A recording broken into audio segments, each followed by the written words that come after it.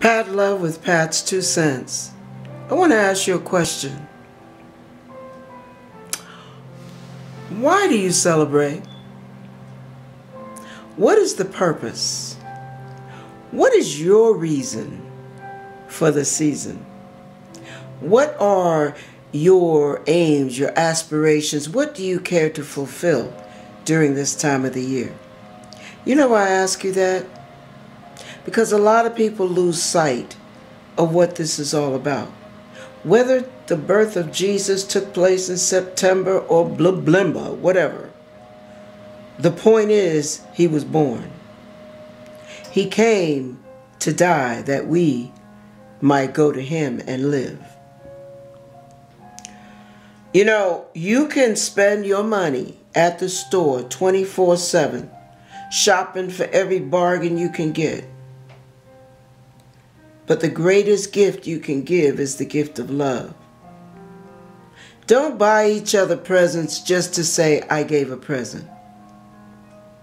That's not what it's about. Don't buy somebody something to impress them. That show ain't what it's all about. Do you hear me?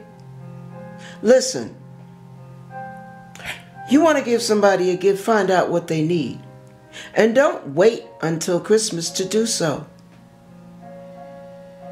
Now, I have a friend named Pat. We've been best friends since, uh, let's see, 1981. And do you know that Pat, with her crazy self, last year, year before last, gave me a car, gave it to me. Now, there are a lot of people who don't even think to do that. Rolling in dough. They go and trade their car in and get the best deal they can get, knowing they can afford the payments. While there's somebody right there under their nose that doesn't have transportation. She didn't know that to me. She lives, excuse me, still getting over this cold. She lives about 70 something miles from me. And yet, she thought about me. Now, who are you thinking of? While you're sitting around here filling out a Christmas list, list, excuse me, do you know that instead of spending three or four hundred dollars on a bunch of trivial gifts, you could pay that lady across the street, pay her light bill, you can take somebody grocery shopping. You want to give Jesus a gift for his birthday. That's what I'm talking about. Not buying a whole bunch of presents so you can check yourself off and say, hey, I, look what a wonderful person I am. Have you asked God what you should give somebody lately? Have you asked the question? What about the widows in your church? Hmm, never thought of that, did you? What about the, the lonely old man that lives across the street, whose wife died 10 years ago, and he's marking time? Have you thought of getting his porch fixed and paying for it? Because you got the money. No, you're taking care of me and mine, and me and my four, and no more. No, I'm going to buy my little grandkids 50 uh, Christmas presents. I want the tree loaded. You know, each grandkid doesn't need any more than one gift each. That's all.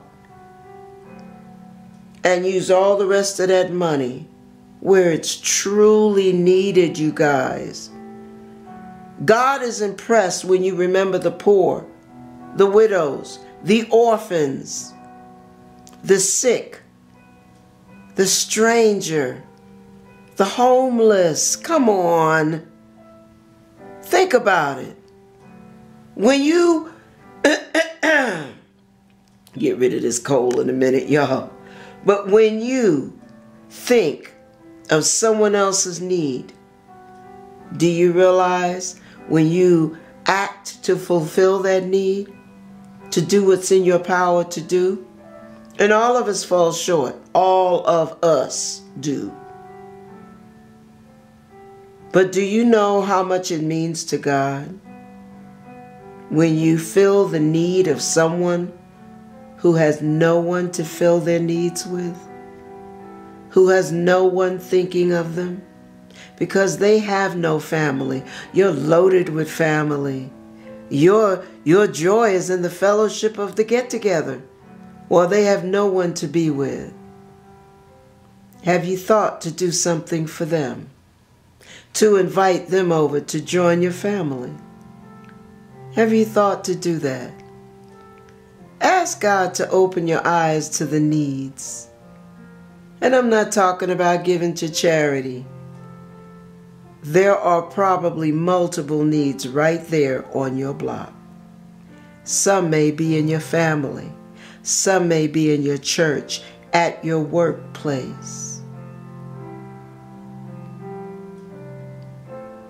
Think of the reason for the season. Okay? God bless you.